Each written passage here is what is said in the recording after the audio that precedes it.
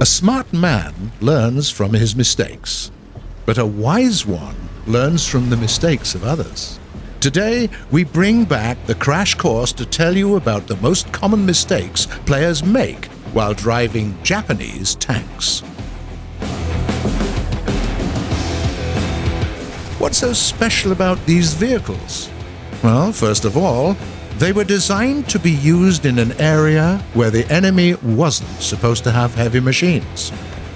That's why the Japanese armor isn't particularly well protected, and Japanese guns won't set records as well. That means that the whole tactical situation is quite different from what we see with other nations.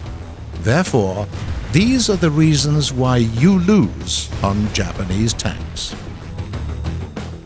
Mistake number one. You use them on the front line.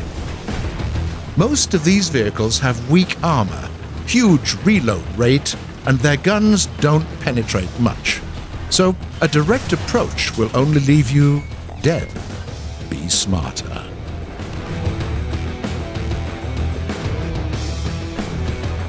Mistake number two. You're getting too active in urban environments. It doesn't mean that urban maps aren't for you.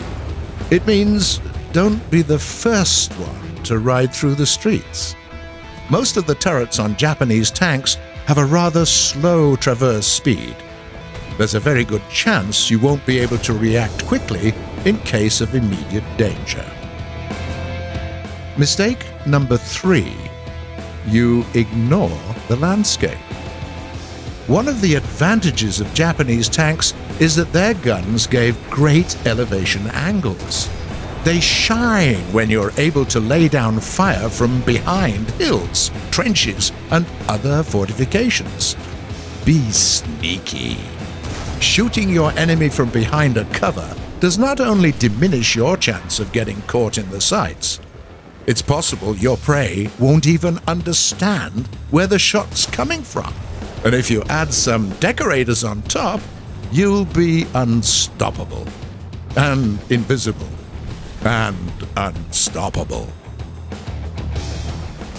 Japanese tanks aren't easy, but if you want to experience something new, or you like high stakes, high risk gameplay, there'll be a lot of fun. And don't forget to learn from your mistakes.